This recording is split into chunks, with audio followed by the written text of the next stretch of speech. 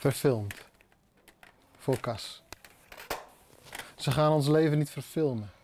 Niet hoe we tegen een bal trapten of bij onze moeder op schoot zaten. Niet hoe we liefde weglieten glippen of hoe we nieuwe vlam wonnen. Ze gaan ons leven niet verfilmen. Niet hoe we ons afzetten tegen. Onwillig jonge moeders uitzwaaiden of hoe we diepte leren vinden en samen leren graven. Verminkte harten maken slechte scheppen.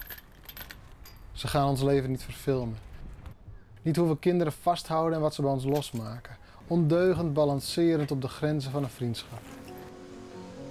Maar wij kunnen veel hebben, zijn omarmd en weggeduwd en we staan hier nog steeds. Ze gaan met ons leven niets doen, maar wij werken eraan. Er is veel over ons te vertellen, genoeg voor een film, een boek of iets miers als een straatnaam. En niets van het alles zou uit kunnen drukken wie we waren. In de harten van onze moeders, vaders, broers, zussen, vrienden en buren. Waarin de bal nog rolt, de schoot warm is, de deur open. Niet op, maar achter hun gezicht moet je kijken. Dat is wat ze ook proberen bij jou te doen.